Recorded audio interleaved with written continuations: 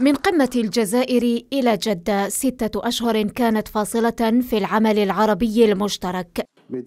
شمل جمعته الجزائر في قمتها الحادية والثلاثين ممهدة الطريق لوحدة صف.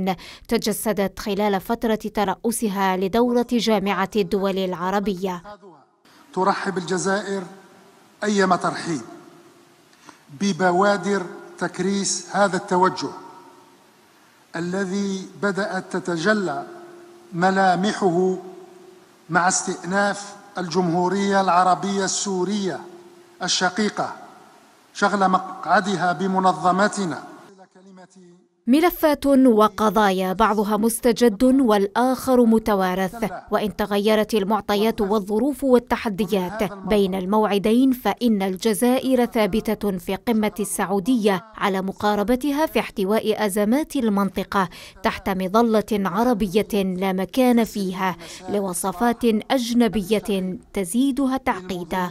ندعم المؤشرات الأيجابية للوصول إلى حل مستدام للأزمة في اليمن الشقيق فإننا نأمل أن تتواصل وتمتد وتتعزز في صورة توافق عربي كامل الاركان على احتواء الأزمات داخل البيت العربي بدل السماح بتدويلها وتعقيدها وتشعب أطرافها أزمات أمنية يطفئها الحوار وانسداد سياسي ينفرج بصناديق الانتخاب. خارطة طريق تقترحها الجزائر لإعادة الاستقرار إلى دول عربية مزقتها الفوضى والصراعات.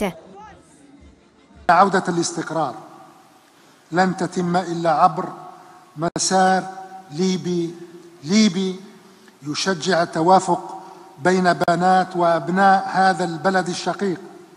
للمضي قدما في تنظيم الانتخابات البرلمانية والرئاسية.